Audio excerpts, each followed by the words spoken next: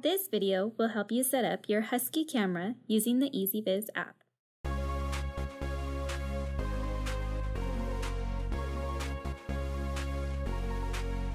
Plug the Husky into the power source using PoE or the power adapter.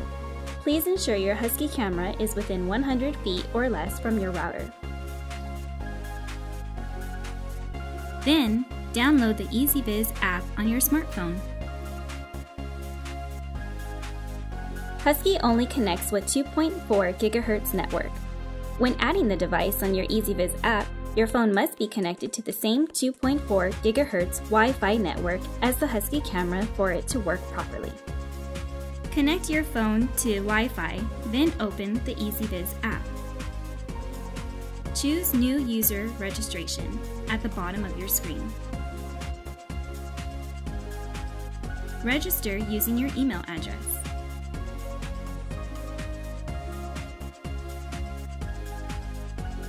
Enter your email and create a password.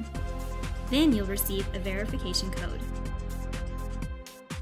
Enter the verification code into the app.